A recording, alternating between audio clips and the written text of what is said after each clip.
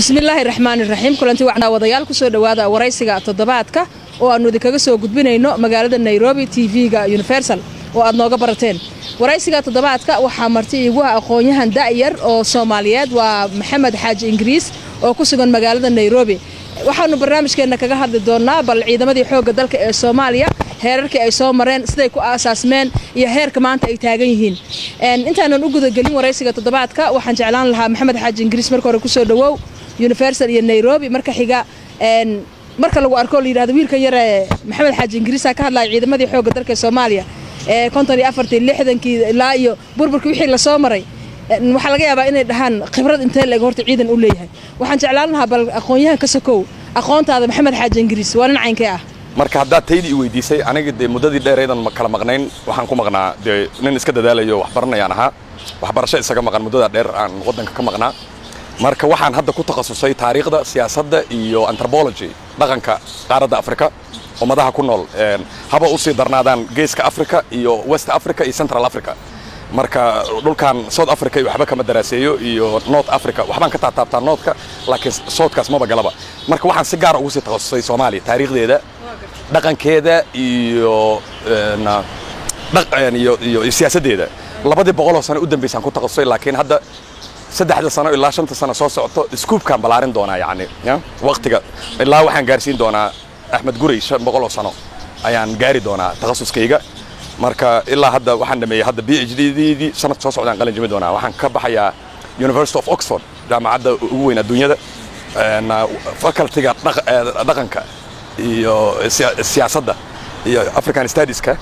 Marka waxaan b h d-deeda ka qoray soomaaliya waxaan marka contract hadda la galay sanad soo socda markaan qalin jabiya aan bilaabi doonaa jaamacadda berlin. Halkaasoon ka noqon doono macallin isla markaana qora b h d labaad oo aan samayn doono insha allah. Waa gartay. Marka laga hadlo ciidamada xoogga dalka ee soomaaliya dadku waxay soo xasuustaan xilligii soomaaliya ay dowladdu jirtay ama dowladdii militariga ahayd ama kaalintii ay kaga jireen ciidamada xoogga dalka afrika siday horta ku aasaasmeen ciidanka xoogga dalka soomaaliyeed? Taariikh ahaan. Su'aal aad u muhiima xamdi loona baahan yahay dadku inuu isweydiiyo ama oran karo waa su'aal cilmi ay ahayd xataa jaamacadaha in la iska weydiiyo. Ciidanka xoogga dalka waxaa la aasaasay aasaaskiisa wuxuu la bilowday. Konton iyo afartii kontonkia soomaaliya koonfurteeda waxaa la geliyey trusteeship maxmiyad ku saabsan toban sano in dowladnimo la diyaariyo. Marka tobankaas sano ayaa waxaa la diyaarinayay aasaaskii iyo salkii dowladnimo ee soomaaliyada dhalan doonta taasoo markii dambe konton toddobadii laysla gartay in somalilan wada hadal bilowday dhinacan british somalilan iyo soomaaliyadii talyaanigu ya xukumi jiray. Soomaaliya italiyana loo yaqiinay af ingiriiska noqonaysa italian somalilan ay midoobi doonaan lixdankii dhalan doontaa. Marka militarigu wuxuu ka mid ahaa saddexdii institution ama haykal dowladeed ee aasaaskooda la gudagalo oo la bilaabo marka marka hore baarlamaanka laga soo bilaabay booliiskaa lagu xijiyey kadib militarigaa lagu xijiyey. Dowladnimada asaaskeeda saasay u kala horraysaa ogow. Baarlamaana la bilaabaa kadib booliis kadib military militariga marka waa soo daahay konton iyo afartiyaa la gudagalay in la bilaabo. Waxaa lagu bilaabay afar iyo toban sarkaal oo soomaali ummadda soomaaliyeed wixii waxgarad oo dhan ay garanayaan. Magacoodu caan baxay guri walba gaaray xilliyadaas. Kontomayadii ha noqoto lixdamayadii toddobaatameyadii siddeetamayadii qof konton iyo afar iyo tobankaas sarkaal. Waxay magacoodu noqday household names wax loo yaqaano oo ah magac guryo kasta oo soomaali laga yaqaano. Waxay ku noqdeenna waxay ahayd karti iyo aqoon iyo garasho iyo xilkasnimo lagu soo saaray itixaan laga qaaday oo talyaaniga itixaanka qaaday. Rag badan oo saraakiilu itixaanay marka afar iyo tobankoodii magac inaan kuu sheegaan rabaa? Dadku laakiin moogtahay soomaalidu qaar ah xasaasiyad qabiilkooda ka qaba ma sheegi doono magacyadooda caadigaan sheegi doonaa. Kow ibraahim roblo warfaa doonyaale labo maxamed jaamac xarbi. Saddex maxamed faarax aydiid. Afar salaad gabayre kadiye. Shan maxamed nuur maxamed baarqab. Lix abuukar suulaley toddobo abuukar gacal muudey. Siddeed cilmi nuur tarey. Sagaal nuur cadow toban xasan maxamed sabriye xasan gaamuur. Toban cabdulaahi yuusuf axmed. Ko iyo toban soomaa labiyo toban maxamed cali samatar. Saddex iyo toban maxamed sharmaan afar iyo toban cabdalla faadil afar iyo tobankaas ayaa lagu aasaasay xoogga dalka. Xamdiyey waxaana loo diray kulliyad military academy dalka talyaaniga.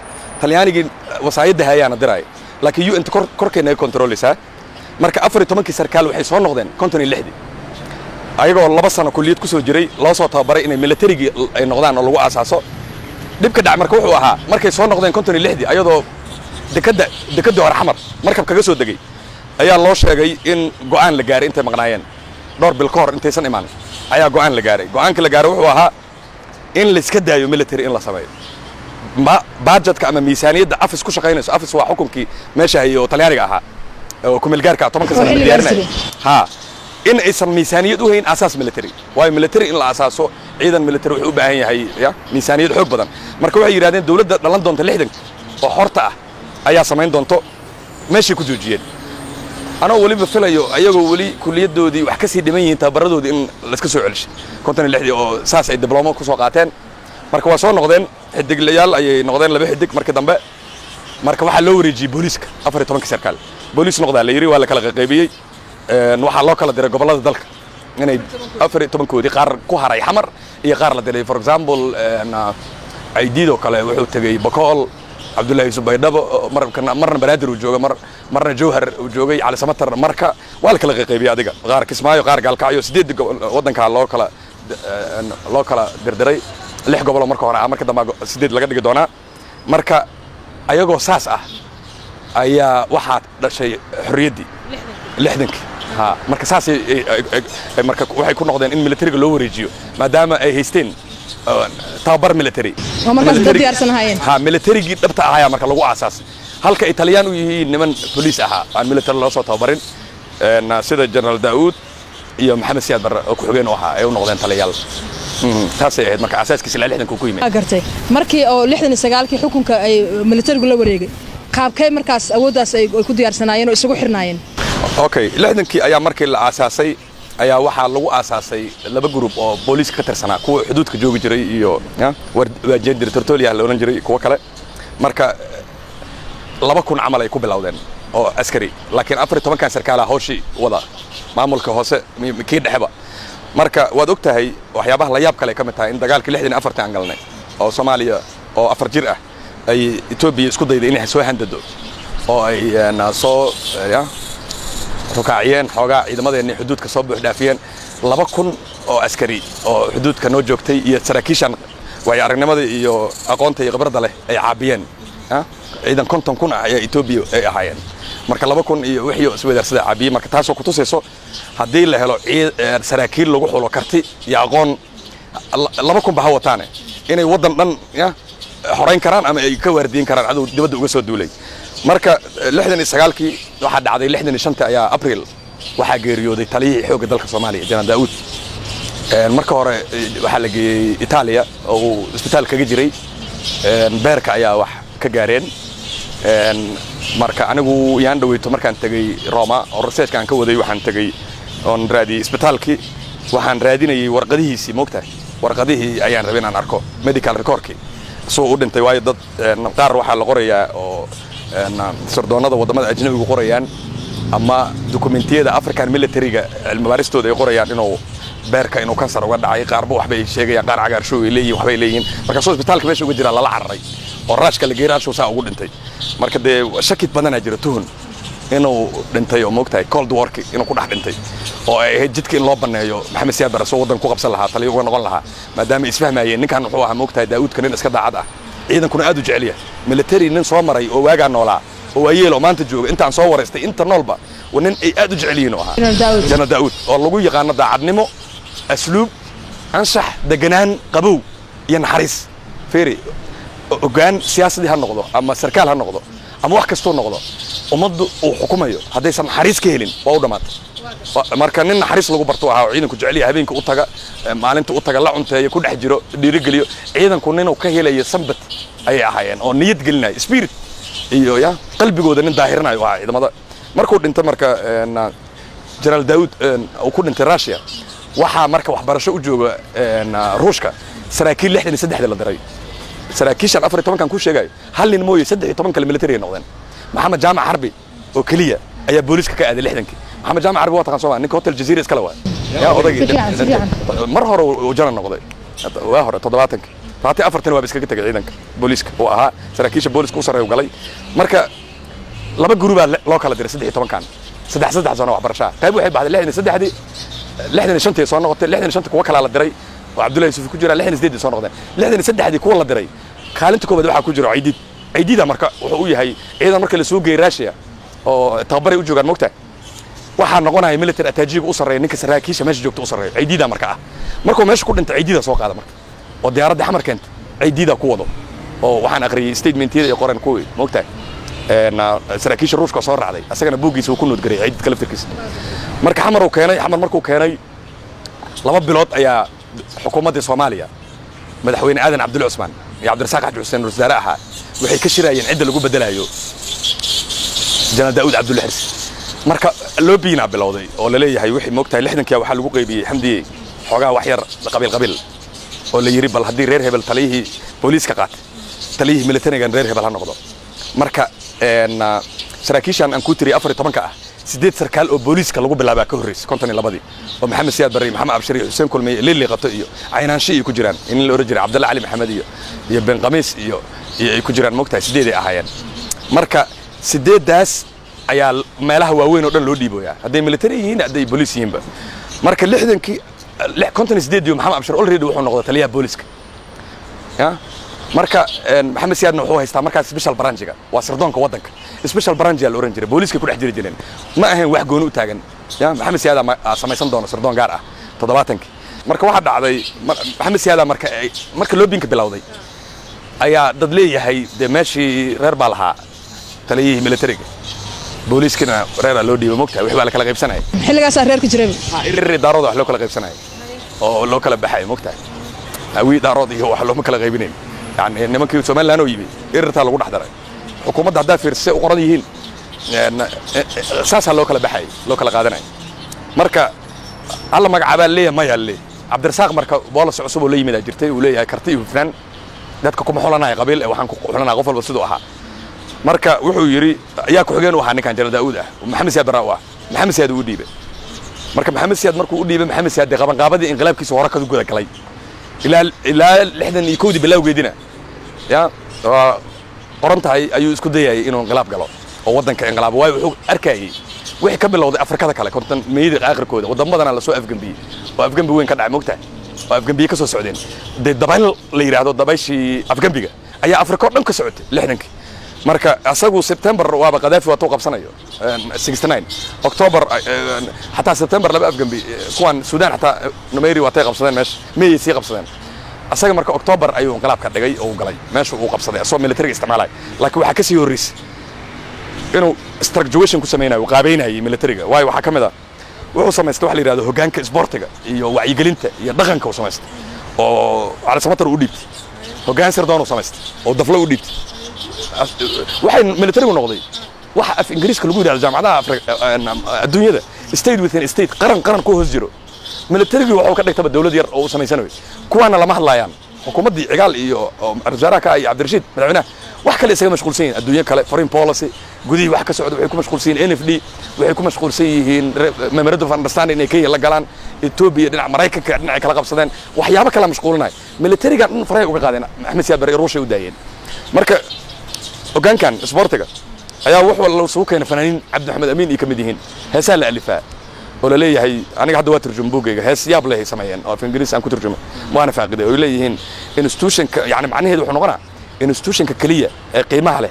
هي كل ككلية قيمة دولة دع وملتري كربت مع سان مع سان معها. تسامي كست أنت نورتو ملتري محمد سيادك أنت. لحنا نش... لا لحنا سقال أفكو هست بالله عسين تحتهم كم سمعين قبيل. Shib wuxuu rabay inuu markuu meesha qabsado le wixiisa u samaysto waa aamusnaa waa toshin lagu ifiyo ka cararaya wax weyn ma samaynayn saraakiil iyo wax waa boobootinayay laakiin massivekii wixii dhacay lixdan iyo sagaal ilaa sagaashan iyo kow oo saraakiisha aan loo eegin qabiil loo eegin maxaa la yidhahdaa aqoon karti loo eegin hufnaan loo eegin ee qabiil lagu xulayay ma samaynayn lixdan iyo shan ilaa lixdan iyo sagaal waa in taa la ogaado. Marka saasoo inqilaabkii marka ugu fudaaday inuu ku dhaco habeenkuu ciidanka ka soo saaray guutada labaad. Ya iyo guutada gawaarida gaashaaman xataa waxaa la waayey hal guuto isu dhigto mogta hal guuto hadday soo bixi lahayd oo ay khilaafi lahayd oo ay noo dhihi lahayd baarlamaanka iyo iyo bangiga iyo xiran lahayd magaalada waa la isku dili lahaa shacbigana. Dee qayb ka mid a heli lahaa meesha waxay noqon lahayd in la fashiliyo sida geni iyo ka dhacay wadan badan oo afgambiyadoo la fashiliyey marka halkan wax fashila kama dhicin si successful ah ayuu ugu fulay. That's why loogu yeero inqilaabkii maxamed saabir asagana ugu yeeray dadka wixii taageersanaa xilligiisina ay ugu yeeraan inqilaabka aan dhiigga ku daadan laakiin annaga waxaan dhahnaa as scholars markaan darsayno iyo historians dhiig waa ku daatoo madaxweyneyaaba lagu dilay oktoobar dil madaxweyne dhiig ka weyn maa jira oo meesha ka dhici lahaa. Madaxweyneyaa meydaba shan beri asoo dhintay. Ma maanta la aasacay caawa inqilaab la dhigay. Dhiigga ka taa ka weyn maxay tahay? Heer stayda meesha ku dhintay marka saasoo inqilaab ku dhacay xamdiga waa gartay. Markaan u soo daadegno toddobaatameeyadii dagaaladii oo etoobiya soomaaliya ay la gashay xilligaas dagaalkaas oo labada dowladood ay galaayeen. Ma isleedahay soomaaliya dagaalkaas laftirkiisa qaladaadaa jira aan laga fiirsan? Haa dagaalka wuxuu ahaa taliska militariga maxamed siyaad barre wuxuu islahaa etoobiya oo wiiqan ayaa meel idin taalla. Marka fursadda ka faa'iidaysta dadka daraaseeya taariikhda etoobiya ama la socda waxay wada og yihiin etoobiya ayaa inqilaab wuxuu ka dhacay toddobaatan iyo afarti lixdameeyadii horraantooda mar la isku dayay xeele salaasiin la afgambiye waa shaqayn weyday. Laba nin oo wada dhalatay oo ormo ahaa oo ciidanka militari ku jiray oo amerika lagu soo tababaray oo niman fiican ahaa karti leh aqoonna leh ayaa mid ka midana uu xukumay ciidanka baalaaska yacni meesha boqorku degan yahay ayaa etoobiya damcayay inay lixdan iyo kowdii inqilaab ka dhigaan. Waa la soo qabqabtay marka waa mingisti iyo marka u suurta gasho 74 ayuu ruushka caawinayo inay meesha qabsadaan. Waxaana laga caawiyey inqilaabkaas safaaradda raashka xamar ku taalo iyo caawiyey iyo xataa angola la caawinaya halkan. Ruushka wuxuu xamar ka furo safaaradda u weyn qaaradda afrika uu ku leeyahay. Sardoonka u weynaana meesha deganaa waa isdhegaysanayeen asi maraykanka marka inqilaabkaas markuu success noqday ayaa waxay ku heshiin waayeen. Ninka ayaga liidar u noqon lahaa. Soomaaliya maogta waxay ku heshiiyeen salaad gabeera isu rabay inuu taliyaha noqdo oo meesha qabsado. Maadaama ninka ugu firfircoon oo hawsha fuliyo hogaanka operationka haystay asaa shaqada habeenka qabtay la qalaabay laakiin maxamed siyaad oo rag badan meesha ka soo buuxsaday rag badan ku soo guray asagoo rag ma keenin raggiisuu ka carrirayay salaad gabeere marka marka jaa saraakiishu isku imaadeen yaa codaynayo oo coday qaateen. Saraakiisha codaynaya saraakiishiisa asaga ma joogaan. Saaxiibna lama waa la wada dirsan yahay aydiid iyo doonyaal iyo kulli iyo baarqab iyo waa isku xun yihiin. Muuse ku soo aruursan meesha loodkiisa. Rag ku loodka ahaa. Samatar ayaa joogo joogo meesha kala jira loodkiisa iyo cabdalla faadil ayagana maxamed siyaada hoosta ka wata marka maxamed siyaada loo codeeyey ayadoo loogu sabaynayo ninka noogu da'weyn waaye. Taliyihii ciidankan waa nin aan u daynay ninkan. Sidaa loogu daayay marka soomaaliya waa lagu kala baxay maxamed siyaad markuu meesha qabtana dee isla markii wuxuu yidhi sharuucu ansixistay asoo kaashanayo qubaradii sharciyada taqaano isku hareereeyey nin yandhow california ku dhintaa ka mid ahaa oo uu geystay markuu meesha qabtay hanta dhowrka guud iyo wuxuu ka dhigtay gariiqaanka guud iyo ka dhigtay. Sharciyadu wahay marna york geeyo hay'aduhu ku daray. Kaasii caawinayay sharci waxaa la meel mariyey oo dhahay wixii garsoor ah wixii fulin ah wixii wax walba ah. Maxamed siyaad aan hoos fadhinaa aabbaha ummadda. Salaad gabeeri kulli waa fadhiyaan marka waa la ansixiyey. Asagaa marka meesha iska haysto nin ku qabsan karo ma jiro etoobiya qoortaa la isu galay toddobaatan iyo afar. Yaa noqonaya yaa noqonaya barhaanu qabo mangisto inta qabo qabo waa la isku dhigay eber iska dhigeen inay ayaga islaayaan ay noqoto istoogtaan marka si laysu toganayo laysu toganayo mangista wuxuu toogtay kii meesha haystay. Mangista meesha qabsada marka toddobaatan iyo lix. Waa wiiqantaa marka etoobiya waa waddan xoogaa fail state ah oo aad u wiiqan cabsi jirto dadka la laynaya habeen walba. Mangisto wuxuu isku dayayaa inuu xoog dadka ku maqooniyo awoodda xoog ku qabto. Waxaa la sameeyey waxa la dhaho reer terror yani agagasadii casayd dadka la dilaya habeenkii habeen dhawedan si fiican uga sheekeeyey ajal soo socda se wax uga dhaceen markaas etoobiya iyo soomaliya labadaba marka etoobiya waa wiiqan tahay marka dhulkay noo taallaa etoobiya dhulka noo taallay uu ku fikera maxamed siyaad barre inuu marka iyo wixii la shaqaynayay inay qabtaan marka dhulkan soomaali galbeed ee ka soo xoreeyaan feri hadday si istaraatiijiga xamdi u fikerayaan iyo aqoon ku fikerayaan caqli ku fikerayaan waxay ahayd inay hadday meel qabanayaan laba dhulaana laga haystaa soo maha saddex dhul weliba. Waxaana laga haystaa french somaliland somali region in ethiopia iyo somali region in kenya. Yaa ugu adag in la qabto. Faranjiga adag oo faransiiska iyo awooddiisii satalaajyadiisi iyo wixiisi o dhan la fadhiyaa meesha. Tan ku soo xigta ethiopia waay tan ugu sahlan kenya waay. Waxay ahayd inuu kenya tusaale uga dhiga mogtahay oo wax kala sameeyo meeshaan dhinacan kale nfd iyo soo aado. Si labada kale ay gorgortan ula galay wax loo ogolaado laakiin meeshaan u galay. Hadda meeshaan masiibadii qabsata waa la ogaa marka hore dee waa galay ciidankan waa geliyey amaruu dhiibay. Wuxuu shiriyey xisbigiisii hanta wadaagga gacanka soomaaliyeed. Waa la qudbaynaa cabdiqaasim kulli waa la qudbaynaa kulli waa lagu raacay.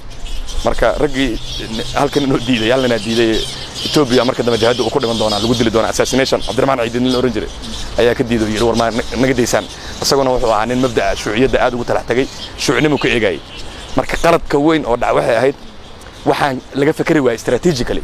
War ciidankan meesha maraya oo soomaaliya xoogga leh yaa qalabka siiyo yaa shidaalka siiyo yaa rasaasta siiyo ruushkaa siiyo. Ruushka hadduu waxaan ogolayn adventure la adventure. Waa meel madaxa madaxa isu tuurtay. Hadduu naga jaro maxaan ka imaan doona lagama fikerin ciidankiioo dhexda uga jira etoobiya oo xooggeedii qabtay dhulka soomaalida ahaa harar iyo dirdhaba iyo laga dul dirirayo ka soo baxaydi waa meeshay ka dhacday. Ka soo baxay oo habqan ah oo xataa laguma soo bixin. Waa la galay dagaalkii saraakiil fiicnaa gashay. Saraakiishii ugu fiicneed ee soomaaliya. Ugu qiimaha badnaa meeshuu geeyey maxamed siyaad furunta hore u dhigay dabka. Raggii ugu qiimaha badnaa meesha qaar ku soo leeday ugu soo dhammaaday soomaaliya ay ku soo weyday. Qalab waxay lahayd meesha ku soo dhammaaday. Saraakiishii mid mid ka hortoo ku soo dhammaadeen saraakiishii sar lama rabo. Ciidanna markuu meel maraayo oo uu waddan gelaayo sarakaalka sare marka sokow waxaa aad loogu xisaabtamaa sarakaalka mid levelka ah oo dagaalka ku jiro oo haa kuwa dhexe kuwa dhexe hadday kaa maadaan dee kan hore muxuu yow amar siinaa amarka hierarchical system military ku socdaa kan hore amarkuu soo dejiyey kan dhexaa sii qabta oo hawsha fulinaya askartina waa kuwii dagaalamaya mid levelkii buundada jigjiga ayaa lagu leeday iyo kaalaamardhe iyo dirdhaba iyo arari waa la soo dhammaaday godod intay etoobiyaankii qonteen ruushkiyaa soo galay ciidan soo geliyey gelin aliley maxamed siyaadka warsaan ka daa waa diiday ha socotuu yidhi waa socota meeshii ciidankii hadda meeshii uu ka soo baxay foolxumana ka dhacday waad maqashay in ciidamo la toogtay. Waa maqashay in khiyaano meesha dhacday in lays baabaashay marka qaladka weyn oo dhacay wuxuu ahaa saaridii ruushka waddanka laga saaray. At least inuu iska sii joogo oo shib laga yidhahday ahayd. Wax weyn uu samayn lahaa ma lahayn wuxuu xirxiray markaas. La saarayo shidaalkii waxaas uu xirxiray laakiin waa lala sii xaajoon karay. Quwad weyn oo saa u weyn oo waddanka quwadaha labada isku haya ah inuu noo carooday dharbaaxa nagu dhacday ahayd oo qaran jabkeena meeshuu ka soo bilowday. Waayayba dhahaan qaarkood badan ku doodaan. Laakiin annaga waxaan dhahnaa dilka madaxweynaha marka la xulanayo ciidan qaran la rabo in la sameeyo. Militariga soomaaliya waxaa looga xisaabtamaa inay yihiin ciidamo awood badan. Xilligii dowladdii dhexe militariga maxamed siyaad bare allah u naxariistana ciidamada afrika ka muuqda ay ahaayeen. Maxaa horta lagu xushaa ciidan ciidan horta waxaa qiimihiisa lagu ogaadaa xulintiisa saraakiisha sarkaalka waxaa lagu soo xushaa aqoon. Waxaa lagu soo xulaa karti. Waxa ugu weyn oo lagu soo xulo horta waa aqoon. For example lixdankii markii abril ayaa digreetadii koowaad soo baxday. Meeshay ku qoran tahay dokumentiga dowladda aniga aan hayo. Digreetadii ciidanka xoogga dalka amar lagu bixiyey in la sameeyo marka asaaskiisiyaa la bilaabay. Abril saddex bil kahor intaanan xoroobin. Waayo baarlamaanka soomaaliya iyo madaxdii s y l iyo kulli aadan cabdulle cabdullaahi ciise waxay u ololeynayeen mar walba in military la'aan waddan ma jiri karo. Waddanaan xoroobaya wax waardeynaya ma leh. Booliis kaliya kuma filno marka waxaa abril imtixaan laga qaaday dad aad u fara badan oo loo rabo saraakiil. Xamdiya tan mucjizada awaa afar laatan sarkaalaa la soo xulay. Laba waa isla dhasheen labana waa isla dhasheen waxaa la yidhi hadday isla dhalanayeen hadday isla dhalanayn ma kala jeclin annaga. Waxaa muhiim noo ah imtixaankaas nin ku soo baxo.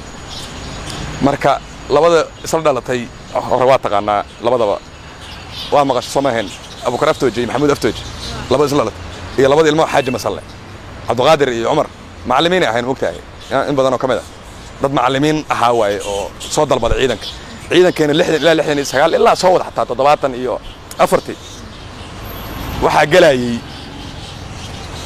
iskuullada ragga ka soo baxo dhanaa gelayay oo jeclaa in nin walbaa haminayay inuu noqdo institution xoog loo fiican oo ahaa mogta oo karti nin walboo galo wuxuu ogaa aqoontiisa le inuu wax ku noqonayo oosan qabiil iyo wax ku noqonin mogtahay ilaa iyo muddo ya mar dambe iyo xoogaa ataa ay ka dhigeen mogtahay markaas hore macallimiinaaba gelaysaba dad macallimiin ahaa dhaqaatiiraa gelaysa lixdan ilaa lixdan sagaal. Injineeraa gelaya wax soo barto talyaani ka yimi raashi ka yimi aan noqonay. Toddobaatankii ayaa ilaa iyo markii dambena waxaa aad isu xoogaystay ilaa todobaatan afartii hay iskuullada kuwii ka baxay. Markii dambena dee qabiil ay isku beddesho wixii sarkaal laga dhigaya qabiil ay ahaayeen meesha. Marka sarkaal haddii la xulayo waxaa la yidhahdaa akademiyada militariga iyo laysku tababaro. Sarkaalka aad dallacsiin ku siisay si yani favorism iyo nepotism yani ah iyo qaraabakiil aad ku siisay xidig maalin nabadeed. Waxay ka soo baxaysaa. Maalin dagaal lagu jiraa dhiig wejigiisa laga tiraa yani ya biladaas aad siisay yani al alif oo aad siisay oo aad ku siisay eh iyo qabyaalad iyo aad ku siisay aqoon la'aan waxay soo baxee. Maalin furan dagaal lagu jiraa dhiig wejigiisa ka imaanaya. Waa gartay wax badana taariikhda ka qortaa iyo siyaasadda. Nin u firfircoona wax ka diyaarin waa tahay. Ciidamadan xoogga dalka inkastoo ciidamada qalabka sida ay fara badan yihiin noocyadooda haddana markaan militariga ka hadlayna maadaama barnaamijkeena militariga uu ku saabsan yahay markii burburka uu dhacay dowladdu markay dhacday ciidan isku xiran oo militariga soomaaliyeed oo awood leh oo waxanan karay oo maanta burburka iyo dhibaatada soddon sano aan ku jirno looga baxsan karay ma jirin miyaa ma jirin waa arrinta loo baahan yahay xamdiyey su'aal qiimo badan ay weydiisay oo ummadda soomaaliyeed ay tahay in loo sheego waaba iga maqnayd aniga. Waa in loo sheegaa su'aashaas jawaabteeda. Ciidan ma jirin. Waddan walboo burburay. In badan oo ka mid ah waxaa badbaadiyey militarigoodii oo dhisnaa. Hadda masar waa u jeedaa militarigaa badbaadiyey. Maxaa halkan oo u badbaadi weysaa isweydiine ma jirin militari qabiillaa jiray. Ciidanka qabiillo u kala baxay xamdiyey xilligaas. Qabiil inuu u kala baxana waxa uu bilowday toddobaatan iyo siddeeddii inqilaabka marka la dhigay. Aa toos qabiil loogu kala baxay.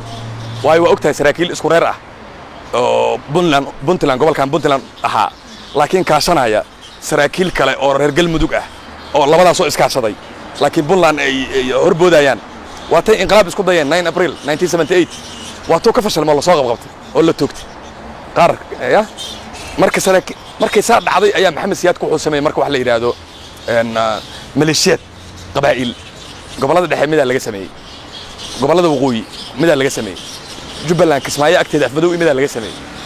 Meelba qaara laga xamar qaara laga sameeyey. Magacay wataan markaas? Magacyay wada wataan. Darooga qaar la yidhahdo daroogo. Waa daroogaysan yihiin camal. Oo waxaa daroogo waxaa loogu bixinayaa. Dumar iyo carruur hadday qabtaan waa cunayaan. Waa boobsinayaan waxay dilayaan kuwaas. Jabhad sooma kacin. Ss soodaf kadibna ss d f aa kacday soo maa mudug. Jabhadda yaa u badnaa. Cabdullaahi yuusuf iyo reerku u badnaa jufadiisii ayay laynayaan. Oo dumarkii ay leelayaan waa kufsanayaan. Baraagihii ayay duugayaan. Marka waa qabiil ayaa loo abaabulay oo la leeyahay qabiilkan ku cun. Ma ifahanta macnaha? Mudug iyo gaalkacyihii ku rafteen oo ku soo rafteen. Saraakiil qabiilaa la keenay. Asaga wuxuu samaynaya qabiilka qabiil u dhaarsan. Ayuu ku hubaynaya marka. Marka jabhadahan cabud waqti waday ku tugal gasheen cadaadihii soo mogi jabhado qaar ah meesha laga sameeyey. Marka mudugiisaa ka sameeyeen waxay ka sameeyeen afmadow. Marka u dambeysay sideetan sagaalkii oo waxaad arkaysaa labada qabiilka la cunayo iyo kuwa cunayo heshiinaya oo la aan iswalaashanno ciidan ma jirin. Ciidanka markuu markasaa noqday oo sideetamayadiina dee la kala saarayba waqooyi hadda yaa xukumo. Qaybta waqooyi. Maxamed siyaad barre in adeerkiisa xukumo. Qaybta kontonafaraad oo fadhisa garow yaa xukumo. In adeerkiisa xukumo. Baydhabo yaa waddanku intuu qaybood laa soo mogi qaybihii oo dhan yaa xukumo. Gaasaska weynaa yaa xukumo. Waa qabiil ay noqdeen. Nin walbana waa og yahay rag waa isaga dhex jiraan oo soomaali bariisku meesha ku cunaya waa jiraan oo koofidda ciidanka bariiska ku cuno.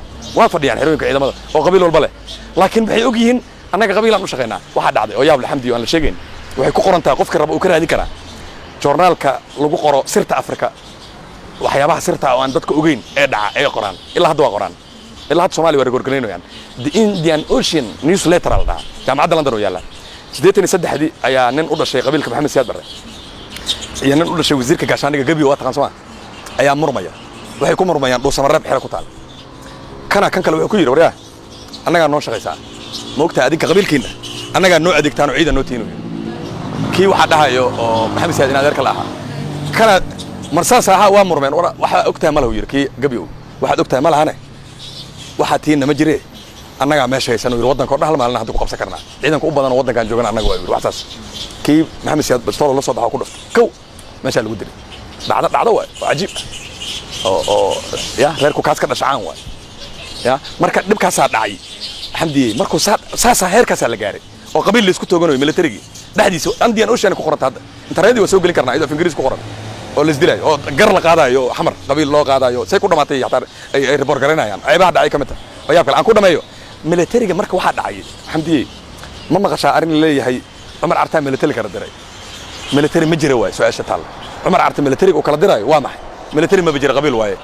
Cumar carta wuxuu kala diray waxaa waaye markii xamar la qabsaday oo camar maxamed siyaad ka cararay ciidan nin la yidhahdo jenaraal cabdicasiis cali barro wataa burca iyo fadhiyo. Kuwa waqooyina de waa lagu kala baxay snmt marka wuxuu rabaa inaan dagaal dhicin cumar carto oo laysku qabiil dhan lagu kala bixin. Marka marka qabiil inuu ku sheegu diidan yahay wuxuu yidhi ciidanka militariga halkaa jooga iyo ciidan militari hadduu meelaha ku haray isaga qabiil inuu ka hadlo diida mugta ogyahay inuu waxaan qabiil yihiin?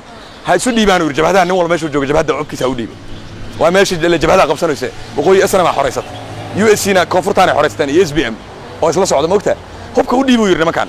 Ilaa asaga wuxuu marka yahay ra'isul wasaarihii waddanka oo cali mahdiya madaxweyne ay ka dhigeen odayaashii manifesto meel ku shiray oo yidhaha meesha hayo marka wuxuu is leeyahay dee jabhadahan u s c iyo s b m iyo s n m iyo shiraa ballansan xamar ka ballansan february inay jabhaduhu isku imaadaan xukuumaddan sharciyeeyaan ama xukuumaddaas jabhaduhu xilligaas waa iska socdeen hadaf may leeyihiin. Ma jira hadaf ay ku midaysan yihiin oo rabeen inay wax ku bedelaan inay wax burburiyaan ka sokow ha. Buug aniga noodkoodisa ii qornaa jira xamdiyey oo aan ka qoray jabhadihii oo hadda aan soo bandhigayn laakiin ii yaalla. Waayo hadda raseejo kalaan ku mashquulsanaa mogta intellectual history of somali society diinta islaamka iyo culummada doorkay ku lahaayeen wadannimada dalka. Qarniga sagaal tobnaadaan ku dhex jiraa. Laakiin book already aan qoray ayaa meel ii yaal.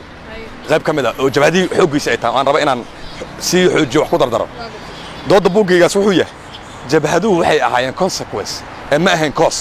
Waxay ahaayeen marxalad dhacday natiijadii ka soo baxday cuqubo dhacday natiijadoodii ahaayeen ee ayaga cuqubadii ma ahayn kooski ma ahayn wixii waxaan sameeyey ma ahayn wixii waxaan sameeyey oo cuqubadan keenay jabhaduhu inay dhashaan keenay. Military regimeku ahaa. Haddaan military regime jiri lahayn jabhad ma timaadeen xamdiyey. Haddii jabhad imaanayso cabdullahi ciise konton iyo lixdii uu rasaar noqday. Xukuumaduu sameeyey. Oo qabiil u egeen oo oo wuxuu samaystay wasiiro lix wasiir. Oo asaga prime minister u yahay. Haddaa fiirisa qabiil kuma salaysnayn. Maxay jabhaduhu u kici waayeen? Hadday yihiin niman ka xanaaqsan power iyo awood. Ha waxay ku yimaadeen sbacekaa la diiday xamdiyey sbaceka laysku dooranayay? Aa la diiday cabdullahi ciise doorashay galayn soo ma? Konton iyo afarti konton iyo lixdii konton iyo sagaalki doorashaa la galay. Lixdan iyo kowdii lixdan iyo afarti lixdan iyo sagaalkii. Baarlamaan iyo madaxweynaha la dooranaya intaba. Laakiin lixdan iyo sagaalkii markuu maxamed saad meesha qabtay ee uu yidhi wax doorashaa ma jirto. Xukunka haddaad doonayso qori caaradiisa ana ku qabsaday. Qoryaan ku haysanaa. Dee waa taras markay carreen cidiid iyo cabdullahi yusuf iyo towr iyo ha hadafkooda marka wuxuu ahaa inay bedelaan xukunka maxamed siyaad barre kuna bedelaan xukunka dimuqraadiga ee lixdan iyo sagaalka horreeyey sidaasaan ka aqriyo guriga ii yaalla ku qoran. Maxaa maxaa ka hor istaagay marka? Brogaraamkii waxaan aqristay snm kii s s d f kii u s c kii s b m kii s d m. Shantaa jabhadood waxaa ku qoran waddanka inaan dimuqraadiyadeena rabnaa annaga oo lixdan iyo sagaalkii ka hor aan ku celino aa u qoran. Waxaa ka hor istaagay waddankii wuxuu noqday fragmented. Snm iyo u s c s b m waxay ku heshiyeen 1990 mustaxiil aydiid cabdiraxmaan tuur iyo jes awoodda inay qaybsadaan waddanka wada qabsadaan saa ku noqdaan. Snm waxaa lagu heshiyey inay waqooyi aado soo xorayso aydiid inuu gobollada dhexe ilaa xamar xoreeyo. Jes koonfurta inuu ku galgasho oo asna xoreeyo. Jes waa tuu baydhabo soo fariista soo ma ogid aydiidna uu soo fariista meesha la yidhaahdo balcad december 1990 ba. Already tuurna uu gudaha galay ballegubadle ballegubadle iyo balcad iyo meeshaana la kala fadhiyaa baydhabo saddexdooda taarkana isugu xihan yahay. Saf mar u gal qaladkay galeen aan kuu sheegaa marka waxay ahayd inay ciidanka isku darsadaan? Saddexda ciidan in la mideeyo. Snm keligeed inay waqooyi gelin oo ayagoo isku darsan ay galaan. Xamarna ayagoo isku darsan ay galaan. Waa istaraatiijiga aan ka soo barannay. Ruwanda iyo cote d'ivoire iyo jad iyo iyo congo iyo ruwanda iyo museveni iyo cilmigaan ka soo baranna waay. Cilmiga jabhadaha ay ku dhashaan ama lagu aasaaso dowladna ku dhisaan waay. Cilmigaas ayay ka maqnaa. Dad qubaraa ma haysan oo wax la aasaaso wax la sameeyo. Waana mashquulsanaayeen busy ahayn. Ya dhibaatada meeshaan ka taaganna waa ujeedaan oo operationka dad baa xabsiya ka buuxa gabyo waa xiraya mogdo ayagaa sii daayay. U s xabsiya ka sii daysay janal gabyo iyo marka mambedayn ninba meeshiisuu galay. Ay marka jes shaqadiisu waa qabsaday. Snm shaqadeedu waa qabsaday. Problemka u s c waa marka. U s c a problemka ah. Xamar markay soo galeen aydiidkii maba loo aqoonsano hogaamiyaha dhabta ah ee u s c. Nimankan waa la aqoonsan yahay tur snm oo dhan waa ictiraafsanta inuu yahay guddoomiyihii snm jes u soo socda afguu yimid. Teerka ciidid kala hadlaya ciididna xamar oo qabsaday uu ku jiraa. Nimankii u s c marka waxay ka kooban tahay three wings saddex qaybood. Cilmi baaris aan ka qoray soddon page aan ku soo diri doonaa. Oo hadda la daabacay sanadkan. U s c waxay ku dhaliyay inay baaba'do ay fragmented noqoto. Oo saa u kala dhacdo garab waxaa waaya garabkeedii dhaqaalaha. Wuxuu fadhiyaa xamar. Ganacsataa u ah madax niman ganacsataa ah madax u ah. Warqad ay kula hadlooyaan aydid oo hayaa warqadihii qaar. Ay leeyihiin siyaasada faragelin annaga military aan noo tahay liidarkii hogaamiyaha tahay shaqadaada wado. Wax kalaa soo gelin. Aydidna uu leeyahay dee jabhad aan siyaasad gelayn liidar jabhadeed siyaasad gelayn ma shaqaynayso. Aniga waxaan waxaan uga imid indiyo safaaraddeeda uga soo tago isu casilayo hoos u soo gala waxay tahay inaan u s oo kala daadsan aan isku dubarito uu leeyahay. Eighty nine uu iscasila mogta oo warqadii uu qoraan hayaa oo isku casila maxamed siyaad u diray. Garabka kale waa garabka joogaan dalka garabka military asaa madax waa marka oo la wareegay oo mustaxiil ka soo dagaalgalay iyo dir dhaba iyo snm la soo shiray ha qalabka uu ku dagaalgalayo iyo uu ku bilaabay snm aan soo siisay iyo ciidanka snm ku jiray oo u s c la siiyey intii wataa asaga iyo wuxuu gobollada dhex ka soo qorto soo u soo socday waa tuu dhulkaan na soo maray waa tuu jawhar ka khudbaynaya hadda youtubeka haddaa dhegeysta soo jawhar xoreynaayo oo ciidankii maxamed siyaad ka saarayo wax meesha fadhiyo ku galgashay waa soo socday marka c ciidii markuu soo galo waxaa la yidhi adeer naga fariiso cali mahdi oo ka mid ahaa ragga dhaqaalaha siiya u s c aan noo noqonaya dhin madax odayaasha. Asaa noo ah. Aydiidka jabhadda ahaayoo la mid ahaa museveni oo la mid ahaa mele zanawi naga fariisaa la yidhi. Asagana naga fariisa kuma joogsan dee. Waa diiday marka iyay u yimaadaan cabdiraxmaan tuur iyo jes waa diideen jes iyana. Jes waa ta ciidan loo diray oo dowladda cali mahdi u dirtay oo afgoy xoog inta looga saaray laga dabageyey maxamed siyaad barre. Jeeskii jabhadka ahaa oo eighty nine fakaday snm ku jiri jiray ka soo baxay s b m samaysta beedhabo fadhiyey bakool iyo baa iyo bakool soo qabsaday saa ku socday.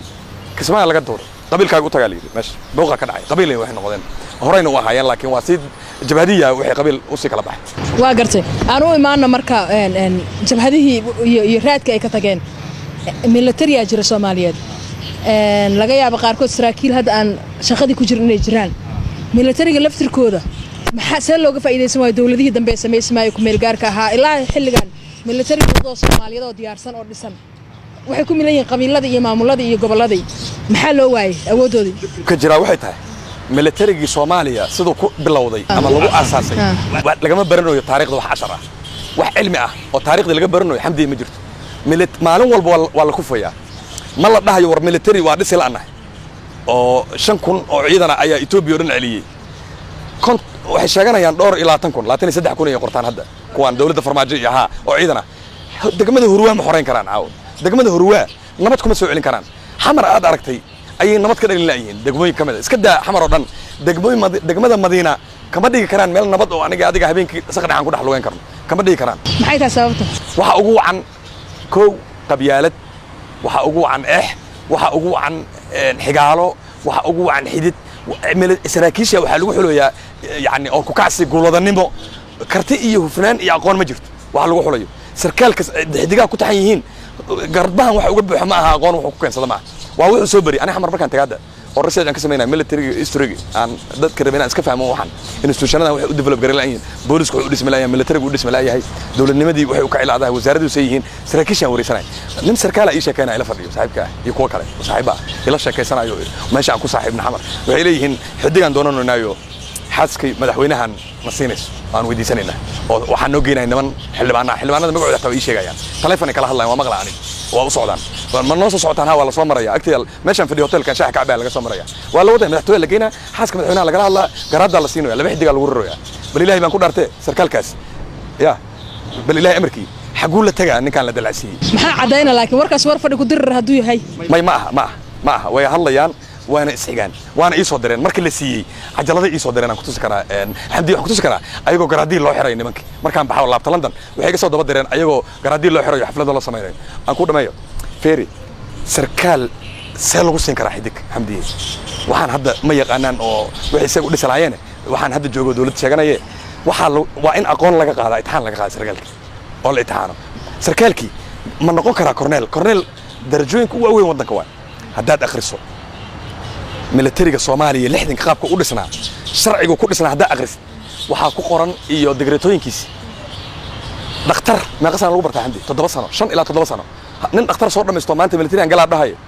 Hal xidigaa la bootina laba xidigaa lagu bilaabaa bes. Toddoba sano jaamacad ku jira. Ogow xidiglaa lagu bilaabaa ninka high school ka soo baxoo la tababaray. Waxaa arkaysaa ninaan waxna qorin waxna aqrin xamdiye inkaarta soomaaliya ka taagan waay afrika hadda markaan darsayno jaamacadda aan ka hadlayo angoolo kama helayo waxaas kongo kama helayo markii la darsayo kuwa militariga ka qora buwaagtoodii yaa la keenaa meesha mogta iyo cilbaaristoodii kuwa hadda ruwaanda ka soo qora bool kagame ma la keeni karo ani markaan u sheego waa yaabayaan they can accept. Xataa ma aqbalayaan. Impossible ay ku leeyihiin ma impossible. Wax dhaci kara maa nin waxaa arkay aan waxna qorin waxna aqrin. Corneel lagu bilaabaya corneel iska daa laba xidig. Xidigle laba xidigle kabtan mijir gaashaanlo dhexe. Corneel waa gaashaanle sare. Iska daa. Waxaad arkaysaa nin lagu bilaabayo gaashaanle sare lix bil kadibna la leeyahay generaal nin inaag wuxuu yahaba saas la leeyahay. Oo ilaahay baan ku dhaartay intuu la tegi karaa waxaas xaguu geynaa. Janano kale iyo hadduu u tago iyo afrika loo diro iyo waa yaabayan dadka ilaa khibradi male aqoonti male wixii ma macanayn karo ma sheegi karo. Waxa marka hadda etoobiya maxay yidhahdeen ma maqashay? Hadda ogow xamdi war fadhi ku dirma anaa sabaan tagay jaamacaddeeda laba kun iyo lix tobankii haddana waa sii maraan next week. Maxay leeyihiin mataqaan marka etoobiyaanka ay hadlaayaan. Waxaana loo soo diraaya dhehen oo shirarka african union yimaada ilaan waa ogtahay militariga iyo waa isdhex galaan booliiska iyo shiraraa dhaco. Jananno jananno. Muuqaalka jananka ah oo labisan janannimo laakiin mentally maskaxda laba alif layaal ah xataa xidiga maaha fikirka marka lagaa sheekaysanayo wixii oo istaraatiijiyaddii waxay u fikirayaan laba xaaji wax badanaad ka hadashay. Daraasadna waa ku samaysay. Taariikhdii iyo siyaasaddina waa dhex gashay. Qaladaad badan oo jira aad hadda ifinaysaa ma isku dayday adoo aqoon-yahan soomaaliyeed adoon dawlad ku dhaliilaynin? Inaa xataa saraakiishii militariga hore la fadhiisato. Markay hadda ay shaqada ku jiraan oo ay taliyayaasha yihiin oo shaqaynayaan inaad wax ku kordhiso oo dowladdii qaybtii kaaga aadaneed inaad ka dhistama isku dayda? Adoon cid ku dhalinoo mucaaradad iyo ka maran. Laba jeeraan tagay wasaaradda gaashaandhigga waxaana u tegey bal inaan xaaladda fahmo. Say wax meesha uga socdaan. Waa ogahay saraakiishu inay iska yihiin sarkaal ku sheeg oo sarkaal jirinba mar hadda had- waxaa loo baahanaa moogta waxaan in dib laysugu celceliyo haddii dowladda xalaala timaado in kulli laysugu la yidhahda adeer imtixaanaa gelaysaan. Nin walbaa meesha uu istaahilo dad akademigaa la magacaabayaa oo imtixaanada qaado oo laydinku imtixaanayaa nin walba meeshuu istaahilaa loo qoraya magaciisana lama sheegayo. Nin walba imtixaanka wuxuu ku galaa bilaa magac lambaruu ku galaa. Si aysan u dhicin mogta prejudice magaca arkay mogtahay eh, isku reer tihiin iyo waxaa arkaysaa iyo ehel iyo qaraabe iyo si aysan u dhicin magac one two three lu ku galaa bas imtixaankaas. Markuu baxo one two three aa la qaadaya imtixaankiisa one two three haddama jiraysa marka aniga waa isku dayey waa tagay gaashaandhigi inaan tala dhiibto waa isku dayey waana dhiibtay. Laakiin saan maalin dhaweed sheegay dee qur'aankan xafidsanahay yaa kaa aqrisanaya xigta mogtahay haddii wixii aan la rabin ama aadba adiga lagu arka tareed adigiyaaba inaad naftaadi ku weydo aa macquul ah. Qaar waxay ku leeyihiin nin hubsaana annaga wax ku wadnaa mana ka bedeli karno burburkaana noo keenan ku wadna maxamed xaaji aqoon-yahanada soomaalida intooda badan. Markay hadlayaan iyo qulubtooda isma laha. O dhan aana ka samaysanba. Waxaa hadda marar badan aad sheegtay in eh, ilaa maxamed siyaad bar qabiille u shaqaynayay. Dadkao dhan soomaali waaye. Adi meel gaari cirka kama soo degin. Aqoon-yahanaad wax bartay. Maslada adi qabiilka waa ka marantaha caadifadaas ma ku haysaa Ah, inaan waxaan aniga horta qabiil iguma soo korin. Xamdiyey.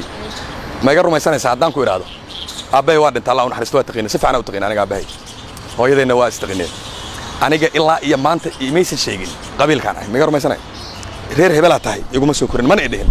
Aniga dariiqa ninka i bara ma taqaan qabiil oo yidhi qabiilkaasaa tahay. Macallinkayga dugsi quraanka waa. Lix sanaan jiray. Anaa lox uga baxay uu yidhi ninkaa taa ma taqaan. Reerkaa tahay. Ma maya wuxuu yidhi marka hore juqraafigaan jeclaa markaan yaraa. Aabbahayna guriga aad wax ugu soo baro waa ogeyd aabahay aniga nin mutacalim oo sare u ahaa oo aniga iga sii cilmi badan. Laakiin inuu wax qorow diidi jiray mogtahay inuu hadlo. Lama hadlayo soomaali u dhihi jiray. Nin afgaaban ah waa taqiin aniga dabcaddeeda ma lahayn. Aniga hooyadayaan kala imi waxaan marka iyo dhiiranaantan marka wuxuu igu yidhi juqraafiga odaga aad ii baray iyo af ingiriiska iyo i bari jiray guriga mogtahay tu- nin tuushanan waa noo qabta aniga gabar ilanato iga weyn oo guriga wax nagu baro. Marka wuxuu igu yidhi looxaan oo ka baxay. Hebel awowgii uu sheegay magaciisa reer hebel uu yidhi ma la socotaa meeshaa ka timaadeen. Markaasaa iri may macal macal nuuraa la oran jiray ilahay u naxariistee. Nin xun ma ahayn laakiin soomaali dee qabiilku waa iska iyo qabyaaladu mogtahay waa iska wax caadifada shaar mar la gashto la iska siiba waa mogta mar walba qofka iskama xirnaanayo markaasaa iri may macal meeshaan ka nimi ma naqaan markaasuu yidhi gobollada dhexe intuu tilmaamay yidhi dhulkaasaa ka timaadeen.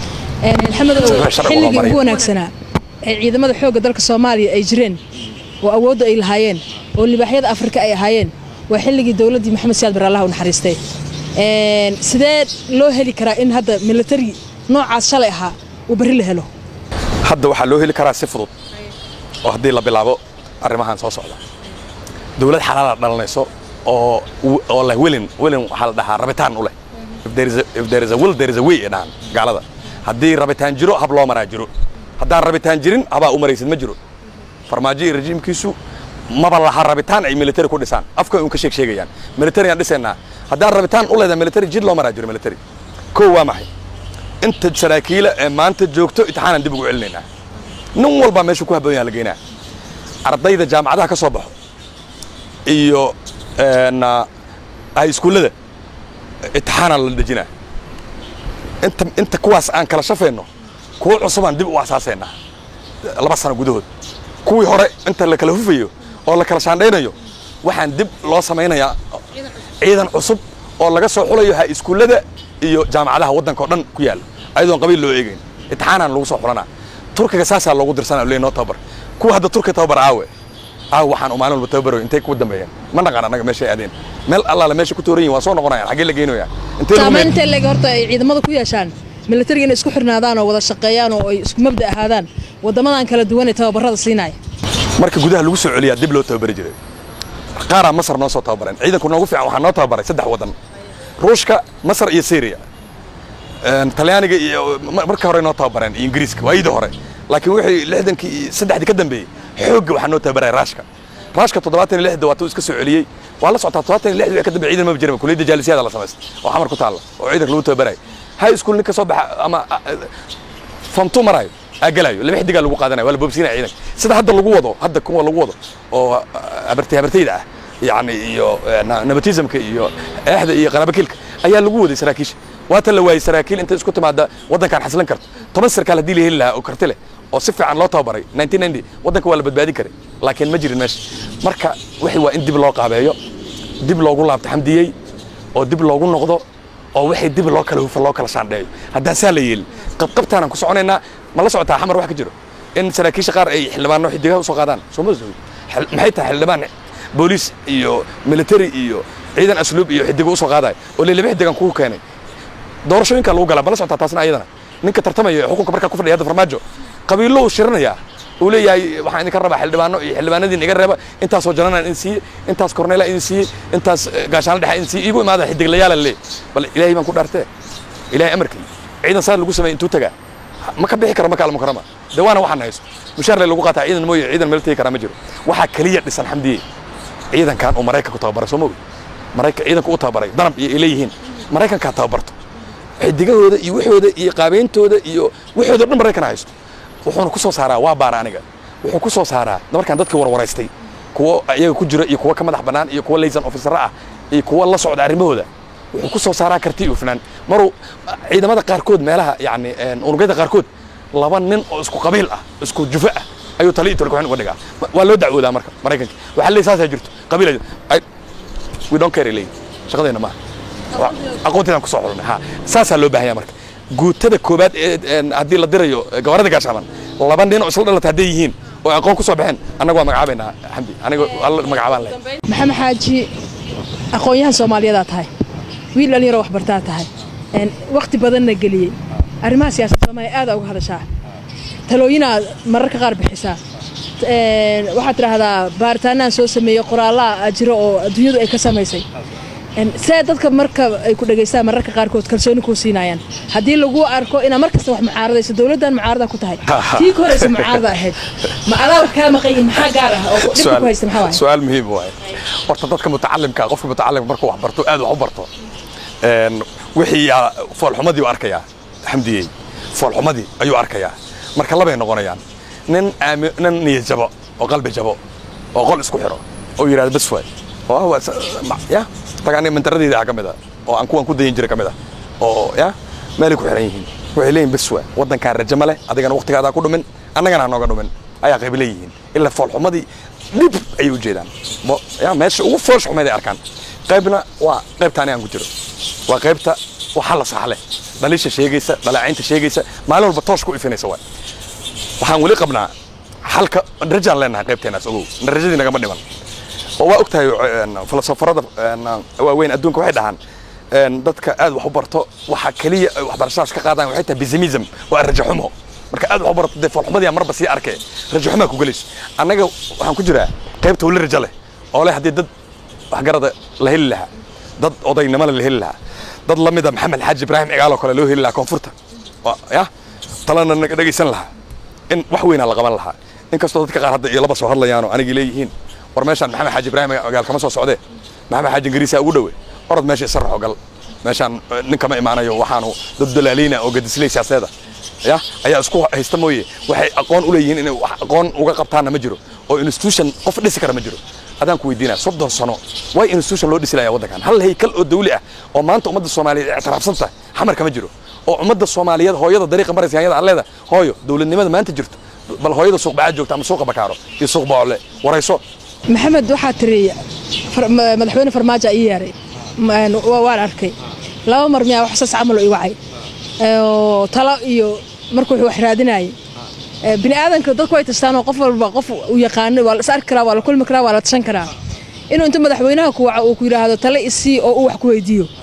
Ma madaxweyne shalay ka soo horreeyey oo khibrad kaga badan oo kursigii shalay aad joogta maanta anaa jooge maxaa maxaa shalay kaa qaldanaa uu kaaga faaid nidaamka wax kugu weydiinaya maxay ahayd? Baahida uu kuu qabay maxay su'aal muhiima weydiis xamdiyey oon u baahnaaba inaan ka jawaabo faahfaahiyo. Farmaaji anigu waxaan is aragnay shan jeer. Laba jeer madaxweyne ma ahayn. Kambeynuu ku jiray. Saddex jeerna madaxweyneu ahaa. Wuxuu iigu yeer waxay ahayd niman baa waxay iiga hor yimaadeen. Laba waa nooshaa maanta. Markhaatigaas waa furi karaan. Nin marraba magaciisa inaan sheego wuxuu ku jiraa ciidamadan ciidamadu ka mid yahay ninna dadka adda asaga la shaqeeya ku jiraa oo magaciisaasna inaan sheega ma rabo. Laakiin way is og yihiin hadday dhegaysanayaan nin wuu dhintay cabdi xoosh jibriil u ahaa wasiirkii dastuurku ahaa. Waxay iigu hor yimaadeen anoo masaajidkan jaamiye ku dukaday abril 2016 ayay dariiq- muxuu kaa dareemaya kuwarsanay dariiqay iigu hor yimaadeen kambeynay isaga u wadaan. Isaga la ololeynayeen madaxweyne inuu noqdo. Hoosh waa ogtaa mucaarad u ahaa allah u naxariiste waa iigu hor yimaadeen waxay dhaheen nin waxaan kaa rabnaa inaan nagu soo biirtaa rabnaa ay dhaheen no tiimkan farmaajo inaan ka mid noqoto. Aniga marka shiraan u jooga halkan oo kings college waxaan ka tirsanaya moogtahay oo macallin ka ahay iyo macallin cilbaare aan ka ahay oon dhigaa daraasaadka afrika iyo qalalaasaheeda kuliyadda la yidhahdo african leadership center. Kuliyadda hogaanka afrika ee jaamacadda kings college london. Dadka hogaanka noqon doona afrika lagu tababaraa. Aniga marka horn of africa iyo soomaaliya ayaan ka lecture weligiina farmaajo ma arag. Abiy axmigaas tvga aan ka arkaa uu ii yahay waa ku celiyey waa ballanna wuxuu igu yidhi oo london inaan sarnaan raba waxaan aniga dee afar beri shiraan ku jiraa. Axaddoo shirka iga dhammaanaya isniintii ofaan ah isniinta waa maqan uu yidhi axaddaan aniga baxayaa londonaa fundraising laga samaynaa dhowr beriyaan maqnaanaa talaadii aan isalna hadda waa baxay anigii marka shirku dhammaaday isniinta waxaan helay cumar cabdirashiid iyo wasiirkii amniga cabdirasaaq cumar oo xamar u socdo. Ayaan xamar la galay hotelkan coron palace degan. Si security for security reason xamar u socda aniga in research sameeyo marka waa isku dhex waardiinaya magaaladana waa ogtahay in qalalaase ka jiro. Marka baabuurtoodii markay baxaysay ayaan la galay. Diyaaraddii ingeerika cumar cabdirashiid aan raacay. Waa isweyne ninka marka. Ninkii aan ballansanayn waa isweyne markaan soo noqdo ka soo noqday hargeysa iyo xamar. Raseejadeedii iyo waxayga hargeysa jaamacadeedii aan soo dhamaystay ayaa xoosh mar kale igu qabtay territory maqaayadan talyaaniga asagii uu la hadlay waa israacna meesha aan ugu tagnay. Waa sawirka aad aragto xoosh la fadhiyo la hadlay. Laba saac ayuu ila shirayay oo aan oo aan wada hadlayn. Madaxweyne. Madaxweyne. Maaha waa ninka been ku jiro oo ololay oran. Wixii hore de waxay aan ka hadalnay ahayd oo shabaab iyo sida loo macaamilayo laakiin halka saac oo dambe iyo hal saac uu qabiil xamanayay iyo hal saac dambe uu ilahaa wax dambe uu ilahaa inay igu soo biirtaan rabaa. Anna aan idhi nin akademigaan ahay. Wax allaale nin akademiga haddaan ahayna kambeyn ma geli karo. Aan kuu dhameeyo xamdiye kambeyn ma geli karo. Oo nin akademigaan qof uma olayn karo. Runtaanan u sheegay wuuna og yahay. Kuma taageeri karaayo mana ku taageeri. Weligeena nin ma taageerin hadda hadduu kuu waco xilku siiyo waartaa ayo waa u sheegay. Ninka rag ninka ninka saddexaad waddanka hadda haysto magaciisa la yaqaana ila shar hadda ma qaadanayo xil mana ka rabo. Waayo wax wax laga faa'iidaya male fiiri. Dowladnimo goormee wax la sameeyaa oo wax la dhisaa xamdi waxaa la dhisaa sagaalka bilood ugu horreeyo lixda bil sagaal bil sanad frame wogi lagu shaqayn lahaa saddexda dambe. Waxaa la qaataa.